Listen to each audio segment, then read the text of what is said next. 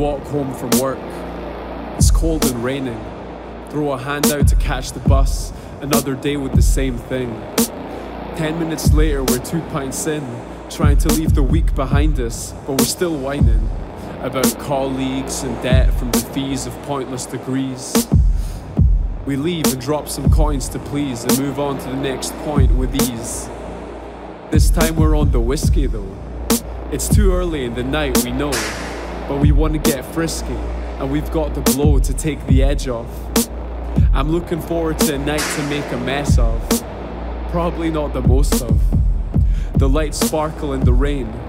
Big grey buildings square go against the sky.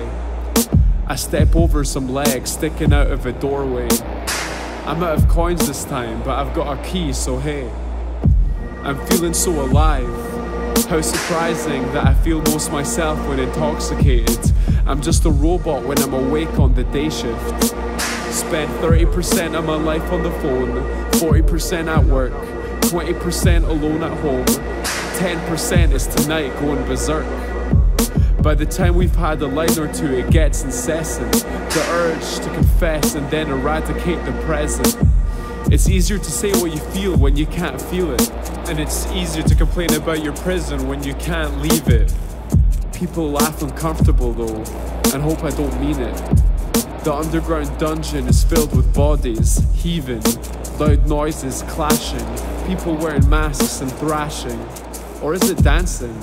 Poetic movement, tired or terrible, a place of promise where I was told I would get it all.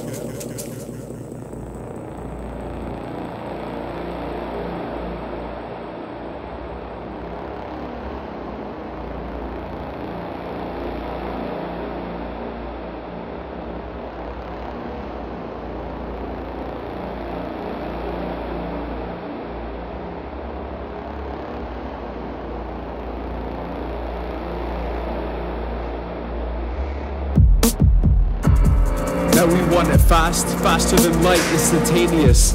We want the damp yellow light swinging us into manias. Some of us never had a chance. We were born lazy, others propelled by the success of their parents never look back.